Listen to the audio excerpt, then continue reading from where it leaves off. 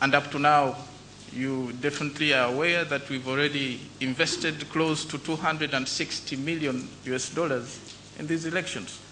And probably uh, this is one of the countries where democracy has started to cost us so much as compared to development. Uh, so that shows the determination that we have in order to make sure that these elections are organized and that they are free, fair, democratic, and, uh, and, uh, and credible elections. So I don't have any worries uh, in as far as the two issues are concerned.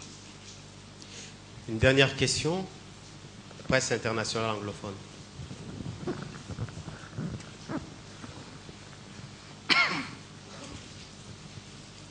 Thank you very much, Excellency, Mr. President.